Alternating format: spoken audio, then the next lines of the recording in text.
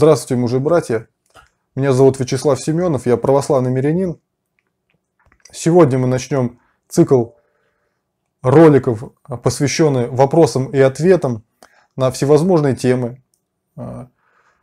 Конечно, в основном все темы духовные. Вопросы мы взяли из книги «Открытым оком» Игнатия Лапкина. Ну тогда начнем. Сегодня тема «Будущий мир и грядущий суд». Начнем. Первый вопрос. Что можно и что нельзя читать в книге «Россия перед вторым пришествием»? Вот я лично эту книгу не читал, поэтому ничего здесь пояснить не могу. Ответ Игнатия Лапкина. Ответ. Эта книга постоянно пополняется, и теперь уже в нескольких томах. Стараются братья, чтобы народ Божий был не во тьме. Они в нее выключают все, что слышали даже краем уха или во сне.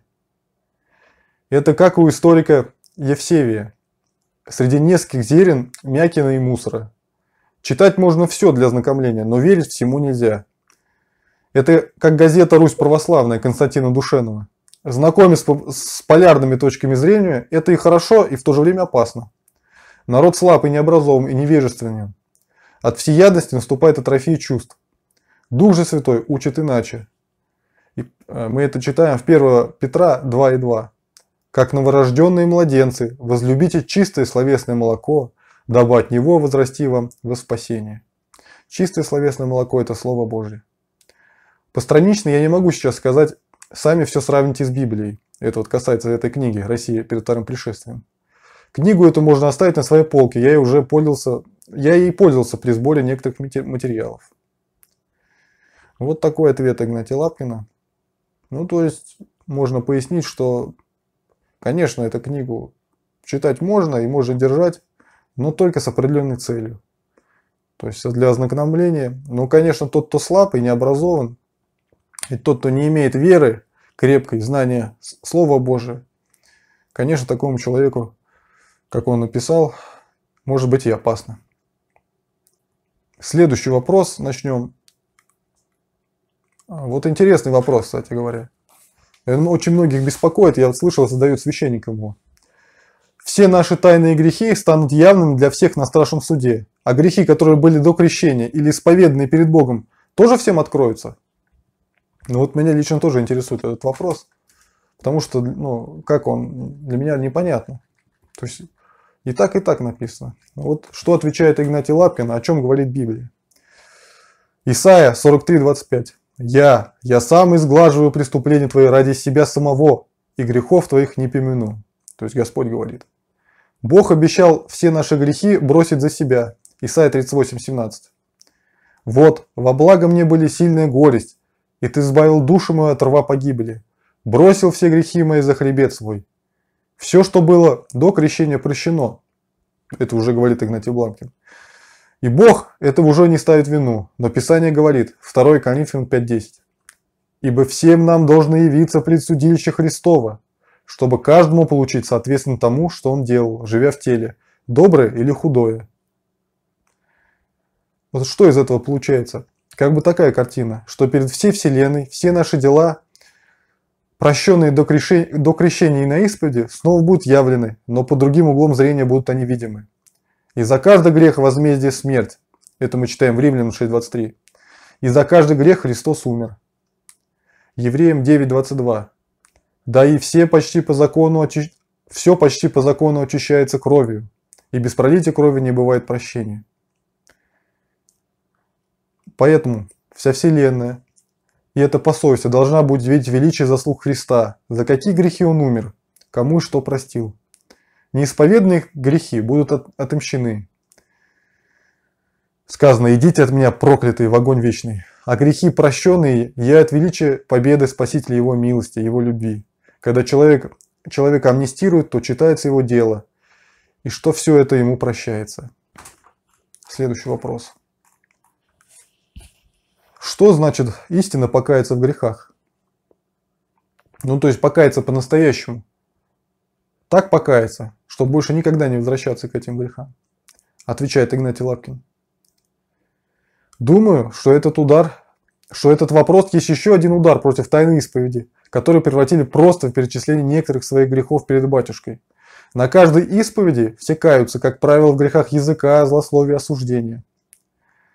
Если бы, это, если бы в этом каялись перед всем собранием верных, и не просто говорили, как на тайной исповеди, «Прости меня, святой отче, помолись меня грешного», но обращались, как всей общине, с просьбой напоминать ему о его злоязычии и удержать его, или даже ударить, когда он начинает кого-либо судить, тогда плоды покаяния явились бы немедленно, ибо все мы в ответе друг за друга.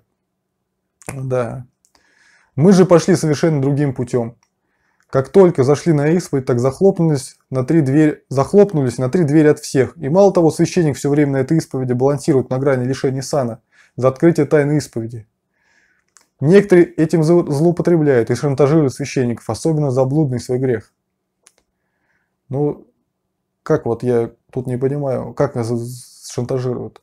То есть, я священнику ты сказал про свой грех, и потом говоришь, что я расскажу, что ты другим рассказал? Это что ли имеется в виду?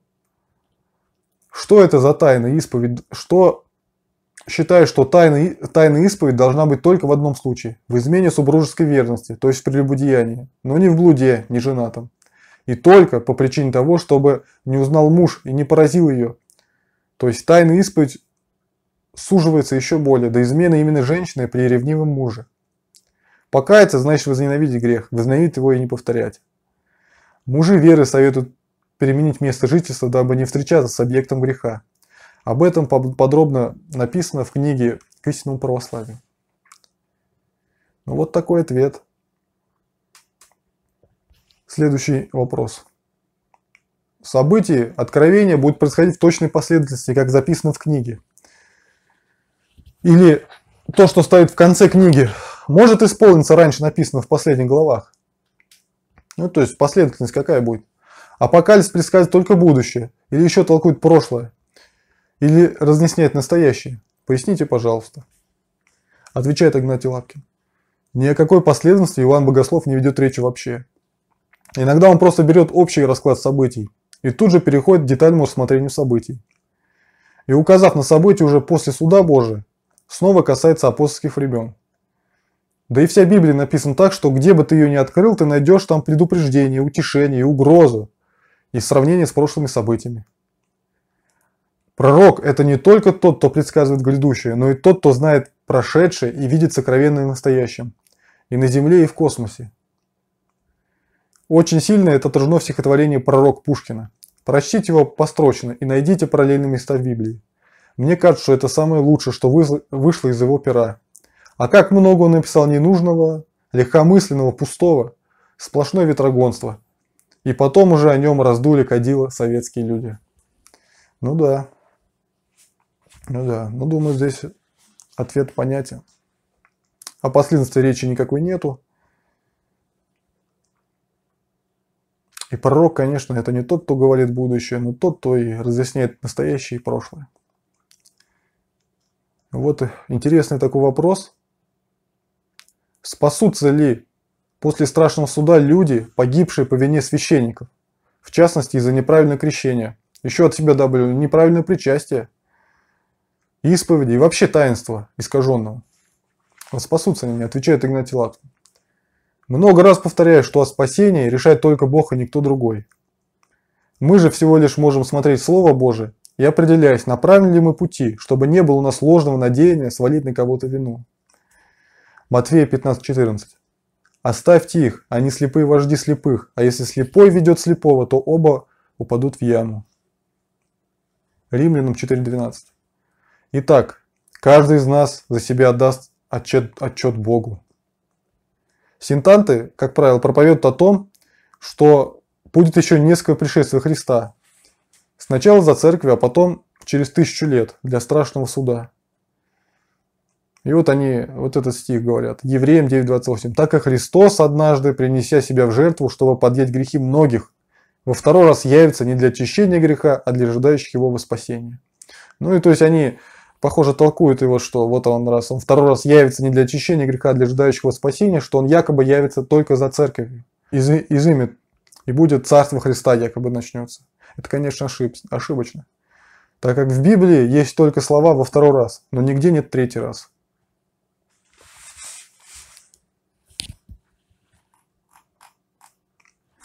Вот интересный вопрос и такой очень большой ответ. Вот людям, возможно, людям будет интересно это. Сегодня многие пишут среди православных, что принятие ИНН – это чуть ли не знак антихриста, знак три шестерки. А иерархи православной церкви утверждает, что это не печать антихриста, и цифры там три шестерки нет. А как в действительности обстоит дело? Ну вот интересно. Но вот понятное дело, что это не печать антихриста, потому что антихриста еще нет. Я тут от себя добавлю к вопросу. Но три шестерки это есть там в ННН или нет? И вот ответ Игнатия Ламкина. Нужно всегда искать ответ Библии и познать истину на земле. В данном случае, кроме Библии, необходимо точнее разобраться, для чего же нужен ННН. Данная публикация, разглашаясь по всей России, дает надежду, что еще какое-то время можно устоять всем против ННН. Но чуть позднее льготы на неприятие ННН отпадут и начнется выделение, выявление сильных. И вот статья «Суд против Антихриста». На судебном заседании было установлено, что в ННН содержится число дьявола три шестерки. Федеральный суд впервые официально признал, что штрих-код каждого идентификационного номера налогоплательщика, то есть ИНН, содержит три шестерки. Знак, знак, который по Библии является печатью Антихриста. Процесс, состоящийся в городе Приозерске Ленинградской области, стал сенсацией. Верующие назвали судом против дьявола. Они молились, чтобы Господь помог восторжествовать правде. И 13 христиан, подавших иски против министерства по налоговым сборам, выиграли суд. Судья Виктор Шелудяков вынес решение, в котором признал право православных граждан стоять на налоговом учете без ИНН по религиозным мотивам. В ходе процесса в Приозерске выяснились скандальные факты. Оказалось, что должностные лица Министерства по налоговым сборам уже 4 года обманывают иерархов РПЦ, утверждая, что ИНН, в ИНН нет трех шестерок и что ИНН не подменяет имя человека. Назначенная судом экспертиза научная доказала, ИНН полностью соответствует описанному, опис, описанию данному Иоанном Богословом в Апокалипсисе. Откровение, 13 глава, 16 по 18 стих. И он сделает то, что всем малым и великим, богатым и нищим, свободным и рабам положено будет начертание на правую руку их. Или на чело их, и что никому нельзя будет ни покупать, ни продавать, кроме того, кто имеет это начертание, или имя зверя, или число имени его. Здесь мудрость. Кто имеет ум, тот сочти число зверя, ибо это число человеческое. Число его 666. Судья. Председатель городского суда, 55-летний Виктор Шелудяков, выглядит крайне усталым. В прошлом полярный летчик, он сравнит этот процесс с долгим полетом в тумане. К, истинному, к истине суду пришлось пробиваться целый год. И сам простым жителям Приозерска, людям без чинов, денег и связи противостояла целая система, мощные ведомства, формирующие бюджет государства, Министерство по налогам и сборам. Структура, которая стремится контролировать все и вся, но в Приозерске налоговая коса нашла на камень. Впервые в России, по сути, подписан смертный приговор ННН. Судья Шелудяков обязал налоговиков признать выданные ответчикам ННН недействительными. Вот судья что говорит. Я судил по закону и по совести, исходя из приоритета конституционных прав граждан, а не подзаконных актов. Судья подошел к делу профессионально. Он послал запрос в Министерство по налоговым сборам и затребовал документацию по ННН. Представьте, что почувствовали столичные налоговые чиновники. Провинциальный судья из какого-то заштатного Приозерска посмел сунуть нос в самые сокровенные детище их ведомства. И не просто в справку об ННС, и не просто в справку об ННН, но на основании которой принимал свое решение о благожелательном отношении РПЦ к этому налоговому новшеству Священный Синод. Судья Шелудяков потребовал технологическую документацию по ННН, всю. Он воспользовался своим законным правом.